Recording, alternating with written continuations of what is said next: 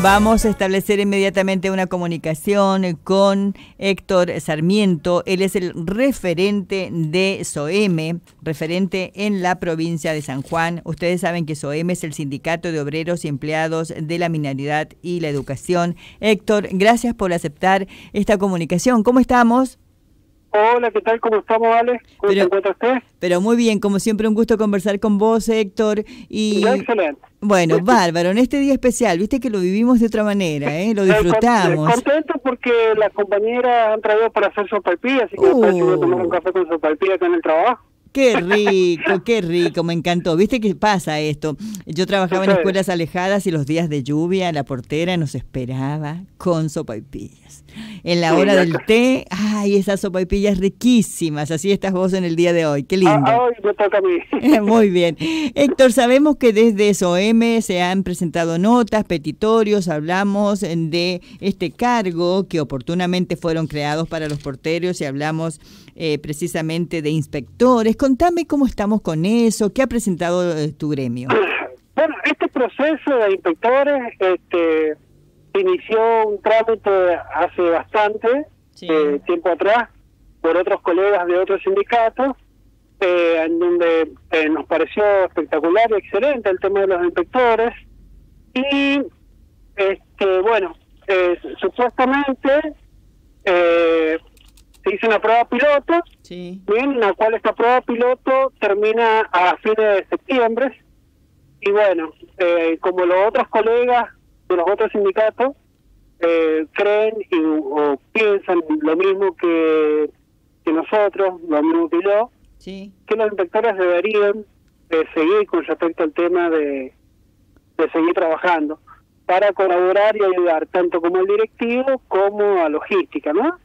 ¿Cuántos se designaron, Héctor? ¿Cuántos se eh, designaron oportunamente este, estos inspectores porteros? Si no me equivoco, creo que se nombraron 15, en la cual quedaron 12, y esos 12 están eh, activos, lo desactivan, lo, se desactivan, lo vuelven a activar. Están así porque como una prueba piloto lo van manejando. Bien. Este, ¿Cuál, cuál es el tema? Es que nosotros pensamos o creemos desde SOM sí que habría que ver, que habría que asegurar esto, hacerlo ya, si, si está en la posibilidad del gobierno y de Hacienda de poder seguir manteniendo la parte económica con respecto al tema de los inspectores, a los inspectores que ya se encuentran, y nombrar otras, porque si la prueba pilota esta ha funcionado, creemos que ha funcionado, por, lo menos para nosotros pensamos que sí, habrá que ver si el ministerio piensa lo mismo este, bueno, nosotros le hemos dado algunos tips como para gallar y decir, bueno, eh, si lo van a seguir el tema de los inspectores, eh, bueno, mejorarlo, el sistema. ¿bien?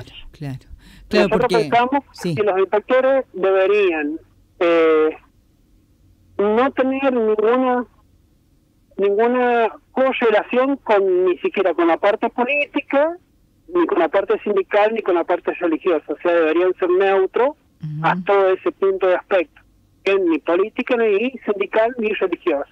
Bien. O sea, que lo designe directamente el Ministerio de Educación, que todos tengan la posibilidad de concursar, este y que los inspectores deberían tener un reglamento como lo tiene cualquier personal o cualquier eh, empleado del, del Estado. Sí. También debería, volvamos no, regulemos primero el tema de los inspectores y a su vez hacer un reglamento para ellos mismos también. A ver, mira Héctor, una pregunta mientras estás haciendo tu narrativa que es válida.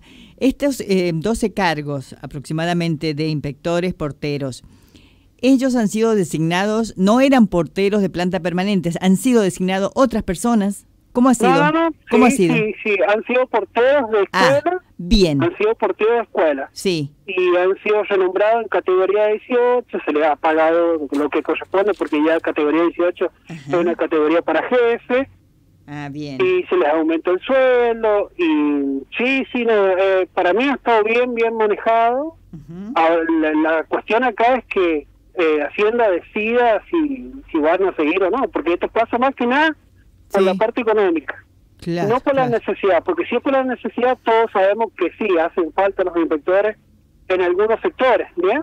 Bien, este, Porque, ¿Por qué decimos que hacen falta? porque los mismos directivos los piden, incluso hay a veces que hasta los propios compañeros lo piden, obvio que en otras escuelas no lo necesitan, se manejan muy bien sin los inspectores, pero hay algunos sectores que sí, entonces pensamos que si el directivo y algunos compañeros de algunas escuelas piensan que deberían seguir, porque todo esto no es que yo estoy hablando por hablar, sino que a todo esto se ha hecho reuniones con los compañeros y se ha ido manejando el sistema así que merecemos que sigan los inspectores o no.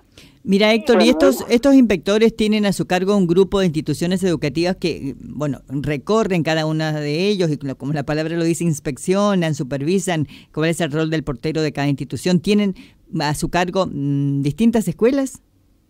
Claro, eh, yo lo estaba comentando justamente ayer a uno ahí en el centro cívico que en realidad el sistema de inspectores trabaja casi casi igual o parecido a lo que era mayordomo antes. Ah.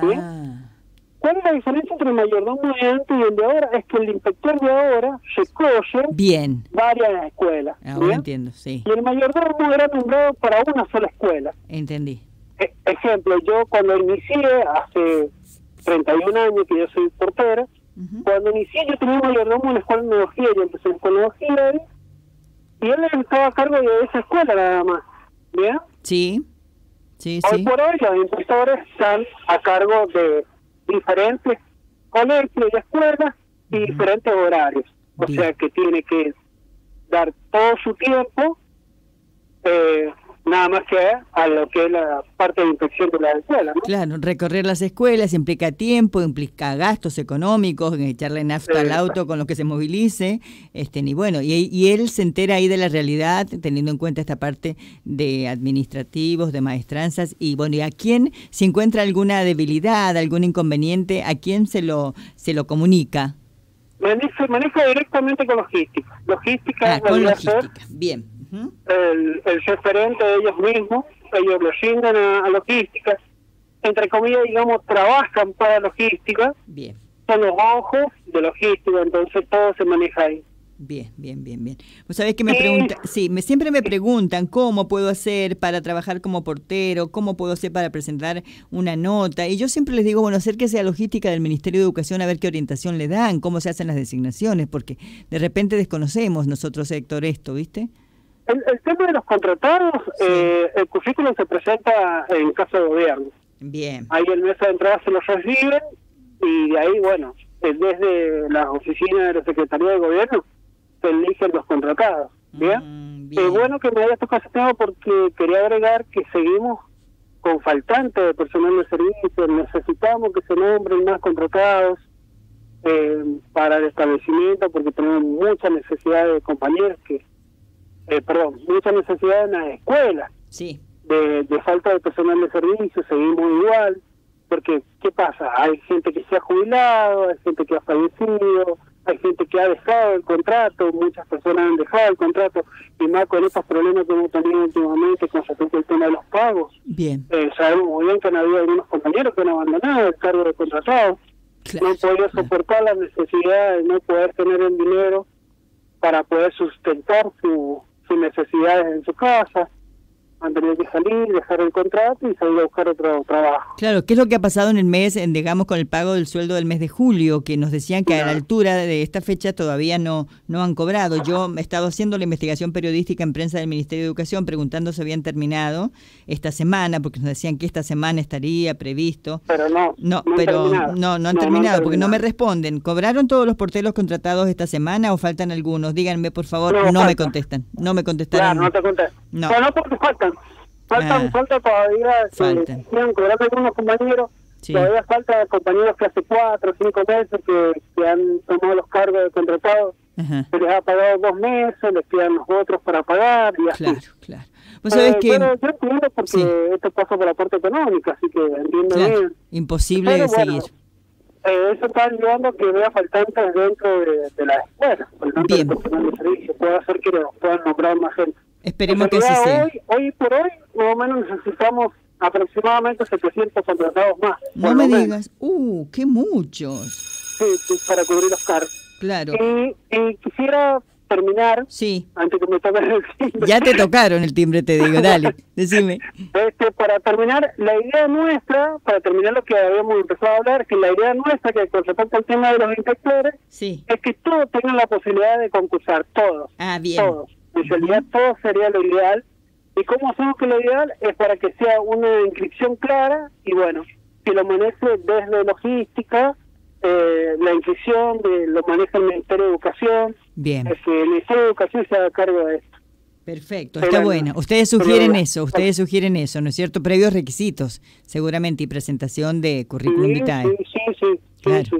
Bien, bueno, bárbaro, me encantó. Eh, espero que haya buena respuesta, que continúen estos inspectores, dos inspectores contratados, eh, porque termina ahora el mes que viene, me decías, en septiembre en septiembre, fin de septiembre también. Qué increíble. Bueno, esperemos que así sea. De luego en privado te voy a pasar el dato de una escuela que está a 10 kilómetros del límite con Mendoza que no tiene portero. Los otros días hablábamos ah, con el director y no tiene. Ya te voy a contar qué escuela es. Bueno, fue de público conocimiento. Bueno, como don Portero, tu colega, eh, nos, nos tocó el timbre, te, te, despido. Muchísimas gracias y suerte. Muchas gracias, gracias con Chao, chao, chao, hasta luego. Dialogábamos con Héctor Sarmiento, es el referente en nuestra jurisdicción en la provincia de San Juan de Soeme, contándonos la realidad, eh, lo que se vive y la situación y la urgente necesidad de designación de inspectores, porteros y la continuidad de estos y no nombramiento de más. SOEME, Sindicato de Obreros y Empleados de la Minoridad y Educación. Nos vamos, sí, sí, sí, nos